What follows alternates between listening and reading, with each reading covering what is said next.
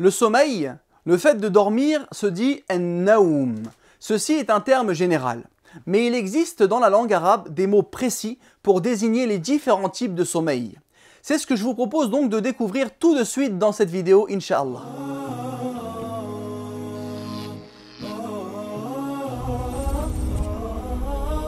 Mes chers frères et sœurs, Assalamu alaikum wa rahmatullahi wa barakatuh.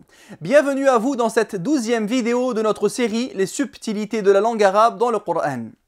Parmi les différents degrés du sommeil, on peut en citer cinq que l'on retrouve dans le Coran et dans la Sunna. Le premier degré, c'est ce qu'on appelle es-sina. Cela désigne les préludes du sommeil, l'envie de dormir. Allah Azzawajal dit au sujet de lui-même dans Ayat al-Kursi La ta'khudhuhu sinah la somnolence, l'envie de dormir ne le saisit pas, wala naoum, et ni le sommeil. Le deuxième degré du sommeil, c'est ce qu'on appelle en arabe en-nu'as, lorsque la personne commence à s'endormir, dans un état entre l'éveil et le sommeil.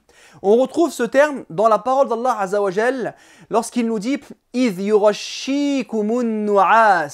et lorsqu'il vous enveloppa de sommeil, min, comme d'une sécurité de sa part. Le troisième degré du sommeil, c'est el-irfa, el-irfa, qui caractérise un sommeil léger. Comme dans le hadith parlant de la révélation de la sourate Al-Kawthar. Anas, radiyallahu anhu, a dit alors que le messager d'Allah, sallallahu alayhi wa sallam, était un jour parmi nous, arfa irfa'a, lorsqu'il s'endormit légèrement. Alors qu'il était parmi nous, il s'endormit légèrement. Puis il releva sa tête en souriant jusqu'à la fin du hadith. Le quatrième degré du sommeil qu'on retrouve dans le Coran, c'est ce qu'on appelle el-hujou'. El-hujou'. Il s'agit du sommeil de la nuit, notamment d'un sommeil court la nuit. Allah Azza wa nous dit en parlant des pieux, el-muttaqin, كانوا قليلا من الليل ما يهجعون ils dormaient peu la nuit, car ils passaient une grande partie de la nuit en prière devant Allah Azawajal. Enfin, le cinquième type de sommeil s'appelle Ar-Ruqud.